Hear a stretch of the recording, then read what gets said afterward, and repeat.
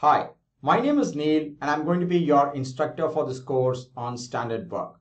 Standard work is one of the important pillars of lean philosophy. In this course, which is to do with standard work, we're going to talk about what is standard work, what are the challenges in implementing standard work, what are the tools and methods and advantages of using standard work in your organization.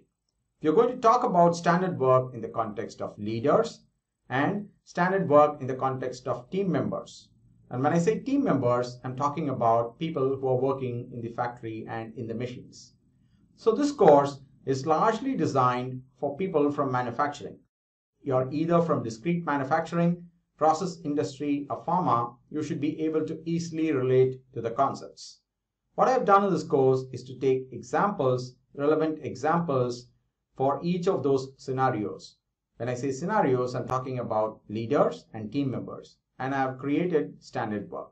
I've also talked about some practical challenges which you could encounter when you implement standard work in your organization. At the end of this course, I'm confident that you will be able to create standard work for yourself. So I'm looking forward to having you in this course. Thank you.